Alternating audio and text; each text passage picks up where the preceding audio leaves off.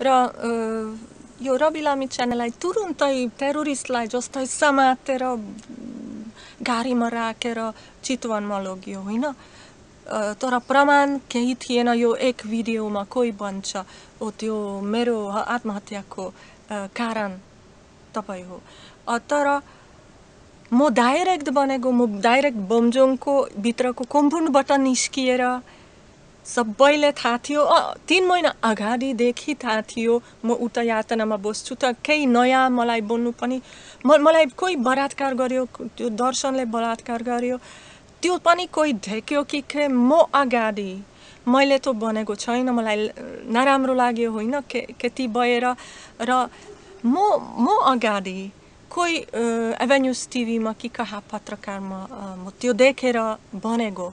त्यो दर्शन हो पनि भनेको तर उनीहरू मबाट पनि प्रमाण खोजेर त्यो माइकमा त्यो एयरपोर्टमा म मसित पनि प्रश्न दिएको को कसले तपाईँलाई सेक्सुअल एब्युज गरेको नाम भन्नु यस्तै। तर म अगाडि म नबने नबनेर पनि भएर निस्क्यो त्यो खबर। किन त्यो कुल्लामा थियो जङ्गलमा थियो होइन उता वरिपरि बमजनको अनुयायीहरू हिँडेको उनीहरू त्यो पनि अर्को इन्ट्रेस्टिङ चिज हो उनीहरू दिनदिन रुख काटेर रुख रुखहरूलाई बोकेको त्यो उसको तामाङ अनुयायीहरू उसको भित्रको कम्पाउन्डमा त कोही अर्कोलाई आउनु दिँदैन तर मबाट पचास एक सय मिटरमा यस्तै भित्रको बाटो थियो जङ्गलको बाटो त्यसमा हिँडेको उनीहरू रुख समातेर रुख बोकेर र मलाई देखियो होइन मलाई कति कति अनुयायीहरू देख्यो बमजोन कहिले कहीँ मलाई त्यो जङ्गलभित्र भएर लिनु ओर्देर दियो र भएर सबै मान्छेको आँखामा पिर्नु यातना दिनु यसको यसको बानी हो किनभने सबैजनालाई उसको अनुयायीहरूलाई त्यो अपराधमा टान्छ। त्यसपछि उनीहरू चुप्प लाएर बस्छन् होइन?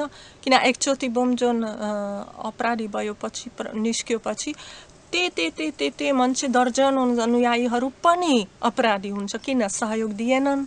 पुलिसलाई खबर दिएनन्। मलाई रेस्क्यु गरेनन्। उनीहरू पनि अपराधी रूपमा बस्छन्। बमजोन नजिक त्यो धेरै दिमाग छ बुमजुनले मलाई किन यातना दिनु जङ्गल बिचमा लुकेर पनि गर्नु सक्यो? गरेनन्। एकचोटि पनि गरेनन्। मलाई उता यातना दिने मात्रै त्यो दर्शन र तोमाक तर्नोस्कीलाई पटाएको। तर आफै सबै मान्छेको आँखामा मलाई पिट्ने यातना दिने गर्यो हात बाँच्ने। सबै मान्छेको आँखामा। त्यसपछि प्रमाणहरू धेरै खोज्नु पनि पर्दैन। इच्छा भएपछि म उताबाट निस्क्यो डाइरेक्ट। त्यही दिनमा त्यो बोम्जोलाई म मोबाइलले बनेको सबैले थाहा थियो बोम्जोको हन चेनमा बसेको या म बनेको चेनमा बसेको। तुरुन्तै त्यही दिनमा बो नेपाली प्रहरीलाई त्यही हलकोरियामा गएर बोम्जोलाई र उसको अनुयायीहरूलाई समातेर जेलमा राख्यो पर्यो। त्यही दिनमा रवि लामी च्यानललाई जस्तै त्यो भिडियो निस्क्योपछि तुरुन्तै होइन उसलाई युवराज कन्डेललाई र अस्मिता तुरुन्तै बेतेको बुम्जुलाई खोज्नु पनि पर्दैन सबैले थाहा थियो कहाँ बस्छ उसको अनुयायीहरू कहाँ बस्छ गरेको छैन अब मेरो केस एउटा म पछि माता अनिको माता अनि निस्क्यो पाँच दिनपछि त्यसको केस पनि धेरै डाइरेक्ट थियो प्रहरी त्यही बेलामा उता पनि आयो यो फिल्ममा छ होइन पत्रकारहरू पनि डाइरेक्ट हल्कोरियामा यो बिचरा ऐमै कपाल काटेर जस्तै भोक्सी आरोप लगाउनु बेलामा होइन यातना दिएर उता बस्यो तर नेपाली भएर नेपालको पुलिसमा प्रहरीमा केही विश्वास गरेको छैन किनभने म र माता अनिले थाहा थियो पुलिस आउनु जानु गरेको त्यो हलकोरियामा हाम्रो यातनाको बेलामा बुम्जुको मैत्री पूजामा सय दुई सय पुलिस उता थियो एपिएफ पुलिस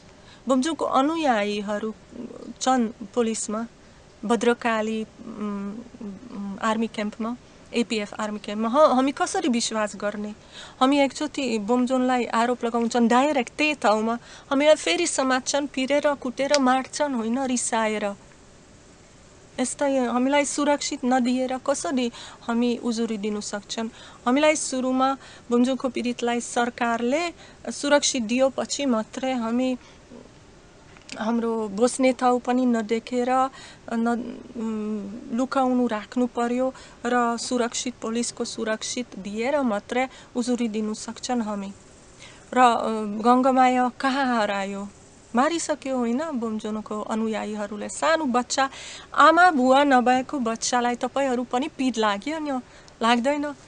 प्रहरी नेता र कति कति एनजिओहरू छन् नेपालमा। कहाँ छ गङ्गमाया उसलाई न्याय पाएन। किन सरकारको वकिल कहाँ गयो?